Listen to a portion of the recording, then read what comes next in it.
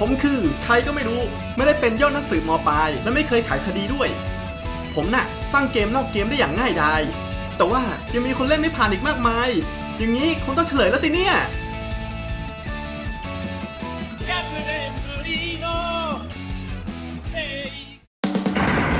ตอนเฉลยเกมนอกเกม เพราะคิดชื่อตอนไม่ออก สวัสดีครับทุกคนในคลิปที่แล้วเราได้สร้างเกมนอกเกม ดยจะเป็นเกมแนวไขปริศนาที่จะให้ผู้เล่นได้ใช้ความรู้จริงในการเล่น และเกมนี้ถูกสร้างมาให้เล่นในระยะเวลา 2 เดือน ตอนแรกเนี่ยผมคิดว่าจะไม่มีใครเล่นเกมนี้ผ่านแล้ว แต่ว่าผมคิดผิด หลังจากออกคลิปไปเพียง 6 ชั่วโมง 30 นาที คดีนี้ก็ถูกปิดแล้ว ในเมื่อมีคนชนะแล้วในคลิปนี้เราก็จะมาเฉลยวิธีการเล่นกันครับ ถ้าใครที่เล่นไม่ผ่านเนี่ยจะได้นอนหลับอย่างสบายใจสักที โดยวิธีการเล่นเนี่ยมันก็มีหลากหลายวิธี อาจจะเป็นการแฮ็กบินก็ได้ หรือ bypass password ก็ได้ แต่จริงๆแล้ววิธีการเล่นที่ง่ายที่สุดเนี่ยคือการยอมแพ้ แล้ววันนี้ก็ต้องขอบคุณผู้สนับสนุนทุกคนด้วยนะครับสำหรับวันนี้อะไรกันครับ เอาเป็นว่าเรามาเริ่มกันเลยดีกว่า เราจะมาเริ่มกันในห้องที่ 1 ในห้องนี้นะครับคำใบ้จะบอกเราแค่ว่าให้เราไปใส่ password เท่านั้น แต่เดี๋ยว แล้ว password มันคืออะไรล่ะโหโห หรือว่าจะใส่ password อะไรก็ได้โหโห หรือว่าจะเว้นว่าง ถ้าลองสังเกตคำใบ้ดีๆ ในมุมล่างขวาจะมีข้อความเขียนว่า หมายถึง password จริง ๆ นะ ก็แค่ใส่ password ว่า password โคตรง่าย ห้องที่ 2 ในห้องที่ 2คำใบ้จะบอกพวกเราว่า upside ซึ่งหมายถึงด้านบน แต่พอมองไปแล้ว เราก็จะไม่เจออะไรเลย แต่ถ้าสังเกตดีๆ เราจะเห็นข้อความอยู่อีกมุมหนึ่งของห้อง โดยผู้พัฒนาเนี่ยเขาได้กลับข้อความให้มันอ่านยากขึ้น อันนี้ไม่จริง ตอนผมทำเนี่ยผมก็แค่เอาไปวางเล่นๆ โดยบังเอิญแล้วคิดว่ามันโคตรเท่พอเราเอาข้อความไปใส่ บางคนก็จะพบว่า ในห้องนี้เนี่ยบางคนอาจจะเขียนผิดได้นะครับ ตรงคำว่าเทพเนี่ยมันสามารถเขียนได้หลายแบบนะครับ โดยใช้ตัว i ใหญ่ก็ได้ หรือตัว l เล็กก็ได้ ซึ่ง password ณที่นี้นะครับใช้ l เล็กนั่นเอง ห้องที่3 b r o c c o l i อะไรกันครับเนี่ย ในห้องที่ 3 ในห้องนี้จะมีพื้นที่มีสีต่างไปจากห้องอื่นๆ โดยสัญชาตญาณของเกมเมอร์ก็คงไม่มีใครที่จะอดใจไหว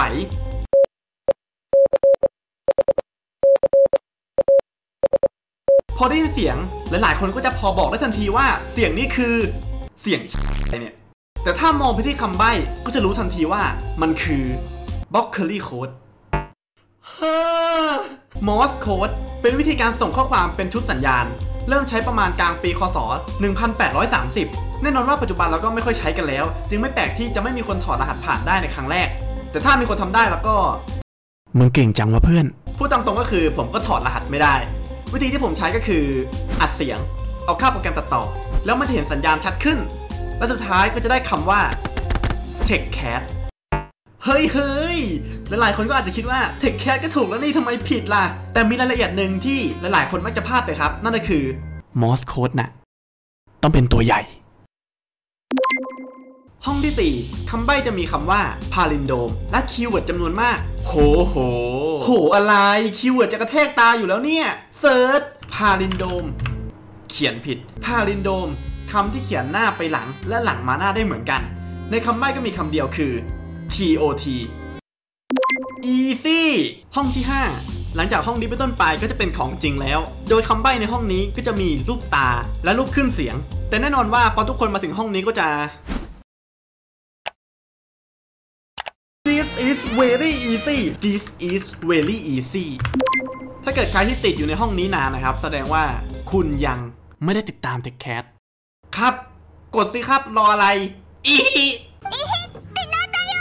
ห้องที่ 6 ห้องนี้ต้องเป็นห้องที่ตึงมือใครหลายๆ คนแน่นอน โดยคำใบ้เนี่ยก็จะมีรูปแมว บิตคอยน์ หัวใจ 8 บิต เครื่องบิน และคนหั่นขนมปัง พร้อมกับข้อความว่า มีเพียงคอมพิวเตอร์เท่านั้นที่จะอ่านแสงสีฟ้าหลัง layer ที่ 4 พอจะเดากันได้ยัง มันคือ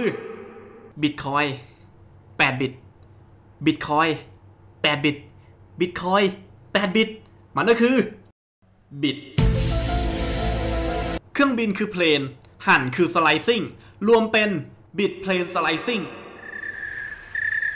bit plane slicing คือวิธีการหั่นรูปออกเป็น bit layer โดยปกติแล้วรูปเนี่ยจะเก็บเป็นพิกเซล RGB ที่เป็นตัวเลข แต่วิธีนี้เนี่ยจะเอา RGB มาหั่นเป็นบิตได้ทั้งหมด 8 บิต ก็คือจะมีบิตทั้งหมด8 layer ซึ่งวิธีนี้เนี่ยมักจะใช้ในการซ่อนรหัสเข้าไปในภาพได้ด้วย แน่นอนว่าถ้าเป็นโปรแกรมเมอร์บางคนก็อาจจะตัวติดไฟแล้วไปเขียนโค้ดตัด bit plane แล้วใช่ปะแต่เดี๋ยวก่อน ถ้าเราสังเกตดีๆ ในคำใบ้จะมีตัวอักษรอยู่ว่า Georgium. ถ้าเอาไป search ก็จะได้เว็บแรกเป็น stegonline.georgium.net. ทีนี้ก็ไม่ต้องโค้ดละ easy ที่เหลือก็อัปโหลดภาพ เลือก bit plane เลื่อนดูจนกว่าจะเป็นหลัง layer 4 ของ Blue Channel ก็จะได้คำว่า บอกแล้วว่าเกมโคตร easy ถ้าเกิดมีใครถามว่าด่านนี้มันยากไหม ผมบอกเลยว่าไม่ ไม่ก็ละห้องที่ 7 ในห้องนี้มีคำใบ้ว่านามของอัศวิน อีกฝั่งก็จะมีโมเดลของอัศวินยืนอยู่ นอกจากนี้ยังมีข้อความว่าเลเวล99 ซึ่งมันไม่ได้ช่วยอะไรเลย เพราะมันต้องเอาไปรวมกับคำใบ้สุดท้าย นั่นก็คือลิงก์อะไรสักอย่าง แน่นอนว่ามันเป็นอะไรไปไม่ได้เลยนอกจากลิงก์ Pornhub ใช่ก็แย่แล้วลิงก์ YouTube พอเข้าไปในลิงก์เราก็จะได้เป็นคลิปที่มีพี่กาอัตกร และพี่อาร์มคุยเรื่องการตั้งชื่อตัวละครกัน แล้วจะมีอยู่ช่วงหนึ่งที่พี่อาร์มพูดว่าคือวันนั้นสิ้นคิดมากเลยแต่เป็นตัวละครที่พี่ผูกพันมากก็เป็น knight level 99 ตัวแรกของพี่ไนท์คืออัศวิน และอย่างเลเวล99คำตอบมีเพียงหนึ่งเดียวคือ หลานไอ้พิงค์หลานยายพริมห้องที่ 8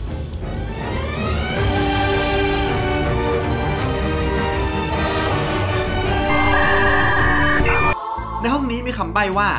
รหัสผ่านคือสิ่งที่อยู่ในห้องนี้ และสิ่งที่อยู่ในห้องนี้คือเลขไบนารีจำนวนมาก นอกจากนี้ยังมีการวงที่ตัวเลขชุดต่างๆอยู่ แต่เดี๋ยวลองดูคำใบ้ดีๆครับ ชัดปะชัดยัง ชัดๆเลยเนาะสิ่งที่อยู่ในห้องนี้ ครับ ห้องที่ 9 ในห้องนี้คำใบ้จะบอกประมาณว่า ส่งรหัสไปยังเว็บตัวอย่าง แต่เรากลับไม่เห็นสิ่งที่ส่งผ่านอินเทอร์เน็ต นอกจากนี้ก็ยังมีพื้นที่สีแตกต่างไปอีกครั้งหนึ่ง แต่ครั้งนี้จะไม่มีเสียงออกมา เอาเลยปะในห้องนี้ดูเหมือนว่าจะไม่มีอะไรเลย แต่จากคำใบ้รหัสผ่านได้ถูกส่งไปยังเว็บตัวอย่าง แต่เรามองไม่เห็นมัน นอกจากนี้ยังมีรูปฉลามและสายไฟ ถ้าเอาไปแปลก็จะได้คำว่าชาร์ t กับ Y แน่นอนว่าถ้าเอาสองคำนี้ไปค้นหาจะพบว่ามีโปรแกรมชื่อ Wireshark ที่ไว้วิเคราะห์ network โดยโปรแกรมนี้สามารถตรวจจับข้อมูลที่วิ่งผ่าน network ได้ และเมื่อเปิดโปรแกรมและเดินเข้าไปในพื้นที่จะเห็นว่า network บางอันนั้นขยับ พอเข้าไปหาข้อมูลก็จะพบว่ามีการส่งข้อมูลจำนวนมาก และหนึ่งในนั้นก็จะมีเว็บชื่อ example.com หรือก็คือเว็บตัวอย่างนั่นเอง พอเข้าไปดูข้อมูลที่ส่งไปแล้ว จะมี password ซ่อนอยู่ โดย password บอกว่าตัวมันเองคือ password แต่อยู่ในรูปของเลขฐาน 16 ที่แบ่งด้วย 4 ไบต์และเป็น 3 กลุ่มหลังแบบไม่มีช่องว่าง ดังนั้นเราจะต้องใช้เว็บที่ได้จากห้องที่ 5แปลงเป็นเลขฐาน 16 แบ่งเป็น 4 ไบต์เอา 3 กลุ่มหลัง และไม่เอาช่องว่างอ่าห้อง10ในไฟล์เกมมันจะมีไฟล์ MES อยู่ ให้เข้าตามคำใบ้บอก แล้วก็เอาไฟล์เปิดด้วย Notepad ก็จะได้รหัสผ่าน ห้องที่ 11 ให้เข้าไฟล์ MES เหมือนเดิม แล้วก็เข้าโฟลเดอร์ music จะเจอไฟล์ text อันหนึ่งที่เขียนว่า png ให้แปลงนามสกุลไฟล์เป็น png จะได้เป็น QR code สแกน QR code ก็จะได้รหัส easy ห้องที่ 12 ห้องที่ 12 นะครับ จะเป็นห้องที่เราต้องใช้ทุกอย่างที่ได้จากทุกห้องมา คือกูยังขี้เกียจถอดเองเลยอะเอาเป็นว่าเราไปดูคนที่เล่นถึงด่าน 12 กันดีกว่า มีมีเขียนเมลมาด้วยนะ มีเขียน มึงนี่เองที่เขียนเมลมา FC ออกลบไปเลย ลบไปเลย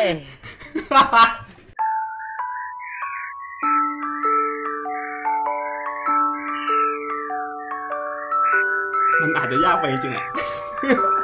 ห้องที่ 12 ในห้องนี้คำใบ้จะบอกวิธีใช้เครื่องคอนโซลกับเรา และยังมีตัวเลขและตัวอักษรอะไรบางอย่าง สุดท้ายก็จะมีเสียงที่ไม่เข้าใจอีกครั้งหนึ่ง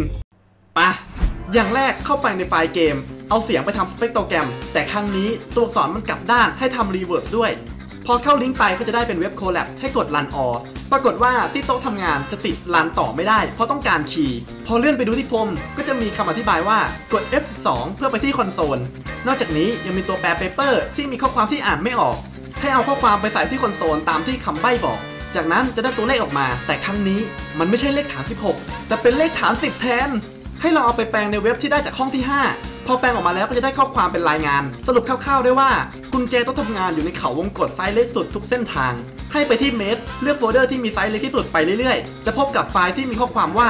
ไม่มีรหัส เพราะแมวเอารหัสไป ใช่แล้วสิ่งที่เราต้องทำต่อก็คือ ตามหาแมวยังไงล่ะ แต่ว่าแมวมันอยู่ไหนล่ะพอพูดถึงเกมนี้แมวมันก็มีอยู่ตัวเดียวครับ นั่นก็คือ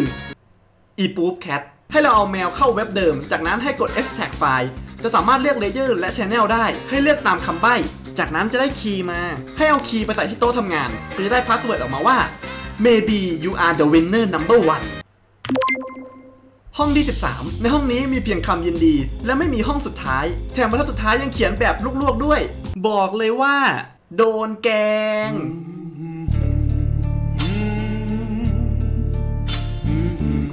เดี๋ยวนะ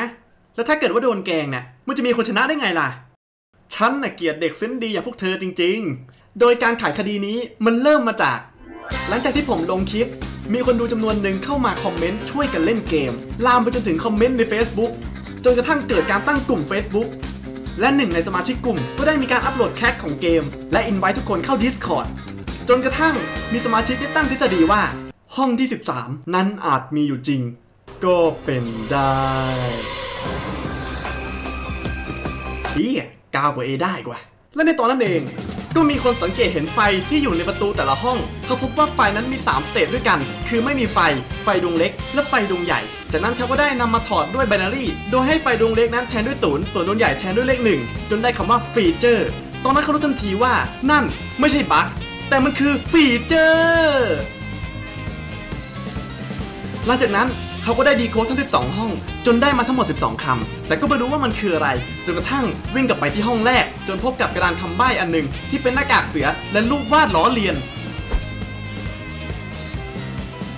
แต่ว่านั่นอะมันไม่ใช่หน้ากากธรรมดานะสิ เพราะมันคือโลโก้ของ MetaMask ที่เป็นกระเป๋าตังเก็บคริปโตเคอเรนซีโดย MetaMask นั้นต้องใช้คำทั้งหมด 12 คำ เพื่อล็อกอินเข้ากระเป๋า ซึ่งตรงกับจำนวนห้องพอดี เมื่อใส่คำทั้งหมด 12 คำเข้าไป ก็จะสามารถเข้าถึงกระเป๋าได้ แต่ก็ไม่พบกับเงิน แต่ว่า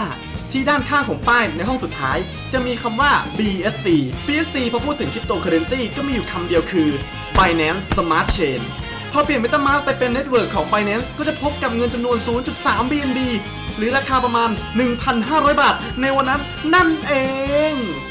ก็ต้องยินดีกับคุณปิติโชดด้วยนะครับ ที่ได้รับเงินรางวัลไป และต้องยอมรับเลยว่า community ของเกมนี้นั้น มันรวมตัวคนอัจฉริยะชัดๆก็ต้องขอบคุณทุกคนนะครับที่เข้ามาร่วมเล่นเกมนี้ และสุดท้ายในวันนี้ก็ต้องขอบคุณผู้สนับสนุนทุกคนด้วยนะครับสำหรับวันนี้บ๊ายบาย